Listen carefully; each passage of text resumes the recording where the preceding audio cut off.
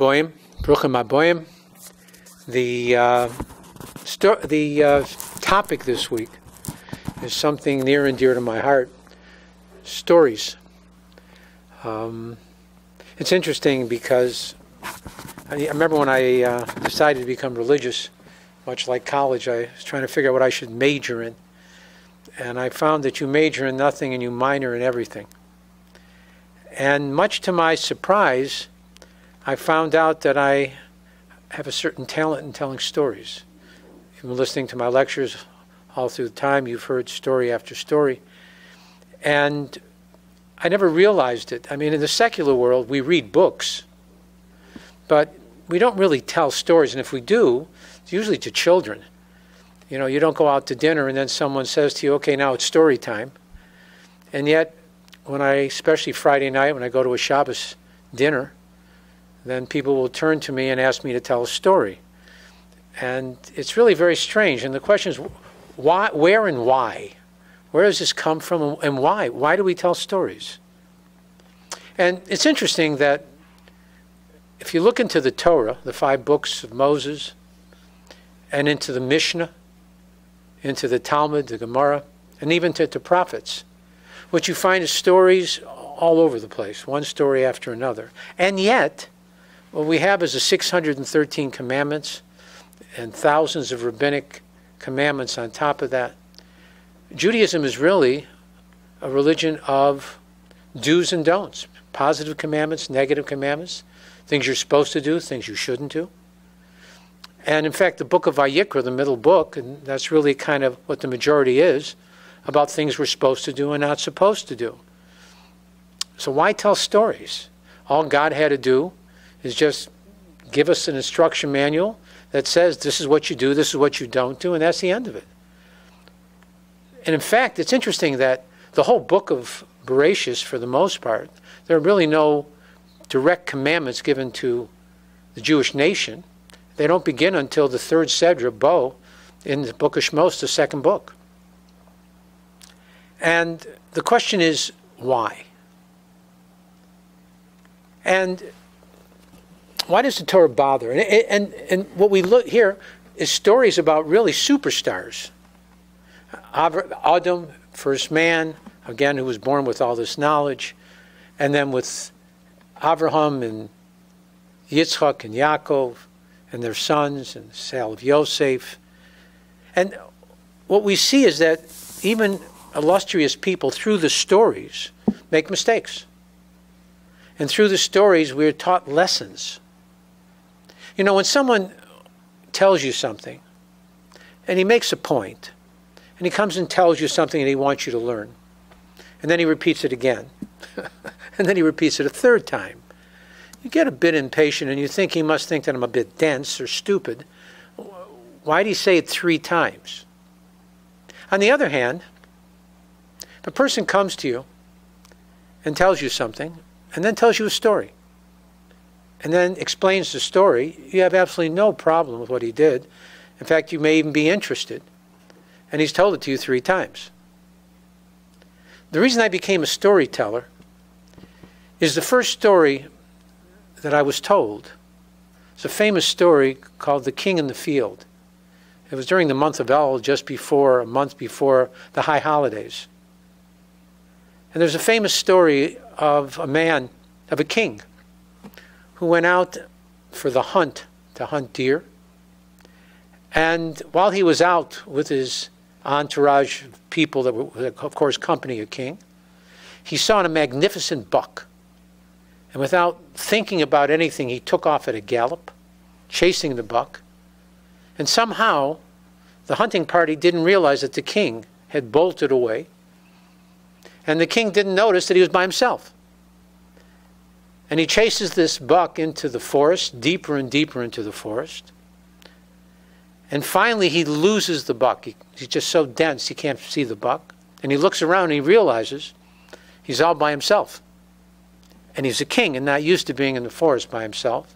But he's by a stream and he's a bit thirsty. They started early in the day. And he dismounts and as he goes over to the stream to get some water, all of a sudden his horse neighs and rears, and takes off at a gallop. And he looks and there's a bear.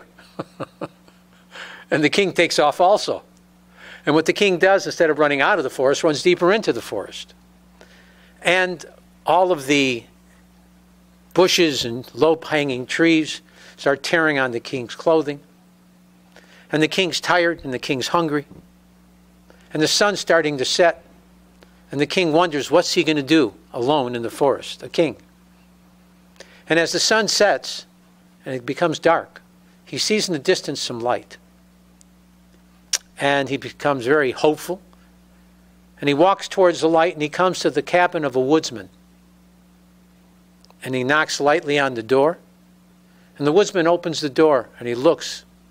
And standing in front of him is a pitiful sight the king, with all of his clothes tattered, bruised, and looking totally, not just physically lost, but weary.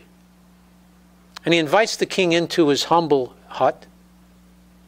And he says to the king, Please sit. But he says, It's not much of a chair, just a log that I have, and I'm sorry, I know you're used to sitting on a throne. And the king says, That's fine, thank you, a log's just fine. And he says to the king, I'm sure that you're hungry and thirsty, but all I have is moldy bread, and I have goat's milk, and all I have is this one cup, not so clean. And the king smiles at the woodsman, and he says, You know what? Moldy bread and goat's milk in a not so clean cup would just fine. And after he had his meal, if you can call it that, the woodsman says to the king, I'm sure that you're very tired. I can see that. But all I have, I know you're used to sleeping on fine linens and goose down. But all I have is rags. I have straw, and I put rags on top of it and an old blanket. And the king smiled and he says, You know what? Straw on boards with an old with a with rags and an old blanket be just perfect. And the woodsman gets it ready for him. The king's asleep before he even lays down. And early in the morning, as the sun's coming up, the woodsman takes the king and he leads them to the edge of the forest. And you can imagine that there were all kinds of search parties looking for the king. And when they, they come to a clearing at the edge of the forest, they see the king and they quickly grab the king. And the woodsman's not even seen. And they take the king back to the, back to the palace. And the woodsman goes back to his hut. And the next day, there's a commotion of the birds in the forest making a chatter. And through the forest comes a carriage with six horses and an armed guard with it, with the captain of the guard. And the woodsman can hear this. Then he hears a bang on the door. And he opens the door. And there stands, with his regality, the captain of the guard.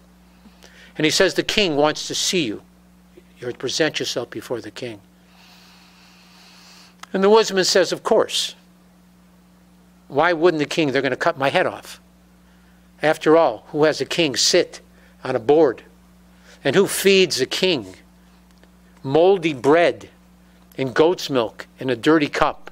And who gives a king to sleep on boards with straw and shmatas and a dirty blanket? Of course, they're coming to arrest me and they're going to execute me. And I deserve it. And the, and the captain opens the door to the carriage. The woodsman goes in and sits and tears because he knows his end is shortly to come. And they come to the palace and they walk the woodsman in, and there's the king with all his regality sitting on the throne. And when he sees the woodsman, the woodsman falls to his knees and the king rushes over to the woodsman and picks him up and hugs him and kisses him. And the woodsman's besides himself. He said, I thought you came, I came to be executed. He says, executed. He says, I come to I brought you here to thank you. You saved my life. He said, but I gave you all those things. He said, you don't understand. At that point, that was more, that was what I needed. You took care of me. And because of that, I'm going to take care of you the rest of your life. And during El, during that time before Rosh Hashanah and Yom Kippur, it says that God is in the field. Just like a president when he's on the road trying to be elected. He wants to shake your hand more than you want to shake his. My father, we rest in peace, shook, shook Reagan's hand. He was thrilled. And I think Reagan was thrilled. Because that's what that's exactly. Go try to shake a president's hand when he's not running for election. You're not going to get that close. But when he's on the campaign trail, that's exactly what he wants to do. He wants to shake as many hands as he can. And God, during that month of Elul, like the king in the field, is approachable. Where during the rest of the year it's very hard to get to him. When he's in the forest, then just like the king, that little bit of things, that little mitzvah that you do makes a difference. And this rabbi gave a whole lecture. And in that lecture, I have no idea what he said before. I have no idea what his conclusion was. And I can't tell you. If you put a gun to my head, I wouldn't be able to say it. But I do remember one thing this story, because it was so powerful and said so well that it stayed with me for 30 years. And that becomes the key that when a person hears a story, especially when it's told to him in that venue, it's not, it's, it, it, it's not threatening. Remember, my daughter, I've told the story, had a friend come over and we put up a sukkah together. And my kids used to joke around about all the answers I say religiously. They knew everything. And when she brought her friend over and we, we were talking about the sukkah, her friend had no religious background. And I explained to her all the things, symbolism, whatever. When her friend left, my daughter turned to me and said, It was wonderful what you told her. And I start laughing. She says, No, really. I said, You know all those answers. What do you mean? It was wonderful. She said, It sounded different when you told someone else. And that's the key. That sometimes the way to touch someone is to tell them, tell someone else, and then they listen. Esav listened when Yaakov told, when Yitzchak told Yaakov to get a new a wife from someone other than Chum, and then he went and married another wife from Yishmael. When we tell stories, those stories have the ability to make us better. You know, I always tell people there were two guys who worked for a man. One had worked for three years, one had worked for 10. And the man who had worked for 10 years happened to see the, three guy, the man who worked for three years, his paycheck. He was making more money than him. He went to the boss and he said, Come on, I've worked with you for 10 years. He's only been here three. He's making more money than me? And the, the boss said, Wait one second, stand aside. He called the guy to work three years over. He says, Harry, you know, he's told him first, the guy was working for him for 10 years. There's a guy in the corner selling oranges. Find out how much one orange is. Comes back, he says, A dime. Now go back and find how much a dozen oranges is. He comes back, he says a dollar. Now he sends them back and says, find how much a case of oranges are. He comes back and says, a case of oranges is five dollars. And he says, watch. And he calls the guy who's only been working three years. He says, Harry, there's a guy in the corner there selling oranges. Find out how much one orange is. Harry comes back and he says, one orange is a, is a dime, a dozen is a dollar, and a case is five. And the boss turned to him and says, That's why he's making more money. It's so powerful. Stories. They tell people what they need to hear. Because in a story, without calling someone foolish, without calling someone silly, without calling someone stupid, you can make a point and you don't insult the person. And sometimes the person actually listens. And that becomes the key. You know, stories make us better. They teach us morals. They give us inspiration. They give us direction. They give us strength to know that someone else can do it. It's interesting, Berel Wein is a historian, and he tells stories about great rabbis. And what he says is, I can't verify all these stories are true, but there's a flavor why these stories are told about these people and from what's told about them and the sacrifices and the difficulties and the fact that they're able to succeed. When we read in the Torah about all that the forefathers went through and they still persevered, the fact that Basia stuck out her hand though it was impossible and somehow was able to grab Moshe's cradle. It teaches us all that we need to know. Those stories teach us much, much more than do this and don't do that. It's boring. Stories that we want to be like the forefathers. We want to be reach that type of grace, at least strive for it. But it gives us, these stories give us wisdom. These stories give us hope. But most of all, all the stories in the Torah make us and help us to come closer to God Almighty, to be able to serve Him better, and to find that love that's within us to connect, the love that's above us, to make that connection, so that we can be servants of God, we can get closer to our Father in heaven. Again, thank you for coming. God bless and have a great Shabbos.